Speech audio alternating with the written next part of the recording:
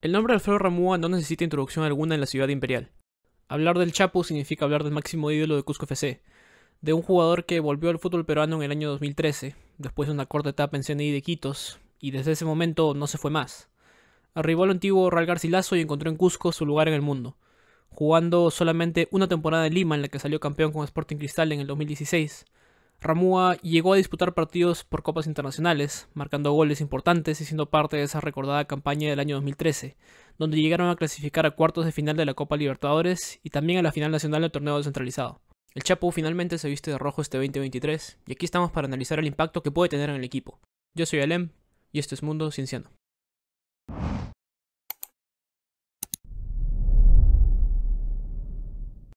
La salida del Chapo seguramente tomó por sorpresa a más de uno, después de tantas temporadas en Cusco FC. Pero ¿quién mejor que el mismo Ramúa para explicar el porqué de su decisión? No pido jugar de titular, no pido jugar los 90 minutos ni nada de eso, al contrario, solamente participar. Sé que todavía tengo algo más para dar en el fútbol, por eso me mantengo bien físicamente, me mantengo entrenando y, sé que puedo aportarle algo más al fútbol. Estoy, como lo dije, estoy para aportar, por eso la idea mía fue de, salir del club, porque quiero seguir para, participando y en el club por ahí no tenía mucha participación en ese sentido. Es la pasión por lo que uno hace. Yo, yo la mía es la pasión por el fútbol, amo, amo mi trabajo y, por eso hago lo que hago. Y a la edad que tengo también soy competitivo, por eso quiero seguir en competencia, quiero seguir estando y, por eso también la, la salida mía del club. Claramente un jugador sin ego alguno, consciente de que los años no pasan en vano, pero con la intención de aportar aunque no juegue un partido completo. Ahora, el tema de la edad de Ramú es uno de los motivos principales por los que parte de la hinchada es muy crítica de este fichaje. Mucho se habla de jugadores de avanzada edad que estiran su carrera más de lo necesario, en vez de colgar los chipunes.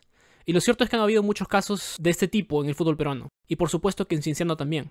Definitivamente no es el caso de Ramúa, yo creo que si lo que el Chapo quisiera hacer es sentarse cómodamente en la banca de suplentes a disfrutar de la mensualidad que le llega a fin de mes, podría haberlo hecho sin problemas en Cusco FC, equipo donde se ha ganado un nombre y quizás ciertas libertades que no tendría en otra institución, como un cienciano necesitado de resultados y que hasta hace poco no tenía técnico. Yo creo que la edad por sí sola no es un factor determinante en la calidad de un jugador. Claro, naturalmente, con el pasar del tiempo, a los 30, 35 años, las capacidades físicas de un jugador tienden a decaer. Esto principalmente se ve en la velocidad, aceleración, movilidad, agilidad, entre otras cualidades. Sin embargo, hay otras capacidades, habilidades innatas, que con mayor experiencia tienden a afinarse, como la visión, la ubicación, precisión en los balones parados. En lo físico, claramente Ramúa no es el mismo de antes, pero en lo técnico tenemos poco que criticar.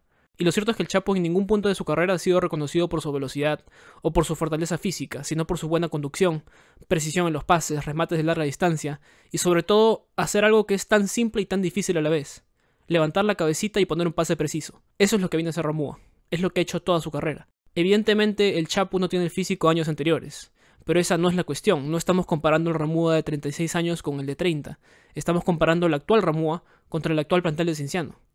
Para determinar si su fichaje suma al plantel, en este momento basta con hacernos una sola pregunta.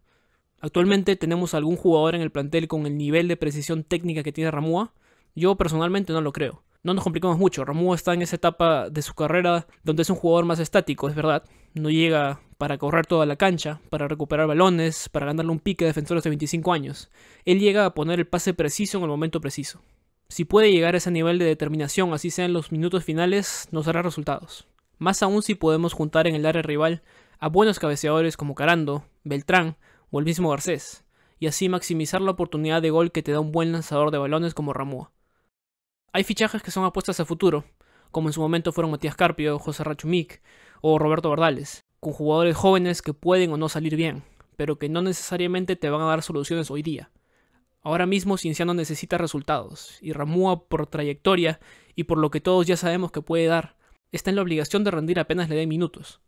Un gran punto a favor para su adaptación es el gran entendimiento que tiene con Danilo Carando, con quien compartió equipo por muchos años en Cusco FC, formando probablemente una de las mejores sociedades que ha visto la ciudad en los últimos años. Y si bien ya están en los últimos años de su carrera, con una asociación correcta o con un momento de inspiración, pueden solucionar partidos que de otra manera se complican mucho. Ahora, otro aspecto es cómo encaja Ramón en el esquema de Ameli quien recordemos no juega con un 10 clásico, sino que apuesta por un equipo más vertical y con transiciones más directas. Entonces es razonable cuestionar la urgencia del fichaje del Chapu. Sinceramente no estoy seguro si es que era un fichaje tan necesario como un defensor central en el equipo, pero sí considero que es una oportunidad que se dio en un momento, que se encontró en el mercado de la dirigencia, y no me disgusta completamente. Ameli no tiene los mismos jugadores que la temporada pasada, así que seguro va a comprometer en cierta medida su funcionamiento y puede que ahí entre Ramúa. El Chapo jugado 100 minutos en 4 partidos ese torneo de apertura, logrando una asistencia para Dila Yarza en el partido ante Binacional, siendo titular solamente en la victoria ante Deportivo Garcilaso por 2 a 1, y entrando en los 3 encuentros restantes por menos de 15 minutos. Entonces, ¿qué se espera de Ramú este año? A priori, por condiciones físicas y por preferencias del técnico, una pieza de recambio que puede ser útil en ofensiva y en distribución, tanto para ir a buscar el resultado a punta de centros buscando la cabeza de un delantero, como para mantener control del partido cuando haya que tener mayor posesión y distribuir de manera criteriosa, cosas que nos faltan para que el resultado no se nos vaya de las manos, como ante Vallejo, por ejemplo, y tantas otras veces. Mantener balón lejos de los pies del rival es la mejor forma de defender, y Ramúa definitivamente puede ayudarnos con eso. Además de ser un profesional que hasta ahora se mantiene alejado de los escándalos y cuyo enfoque está puesto solamente en el fútbol, Creo que un jugador de este perfil le viene muy bien al club, después de lo sucedido en los últimos meses. Si es que uno no está de acuerdo con este fichaje, creo que al menos habría que darle el beneficio de la duda. ¿Y ustedes qué piensan de Ramúa? ¿Creen que su fichaje realmente beneficia al equipo y se vuelve pieza importante para Meli? ¿O le costará adaptarse a un equipo en mal momento y un nuevo técnico que no juega con un volante creativo neto? Déjenlo abajo en los comentarios y conmigo será hasta la próxima. Chao, chao.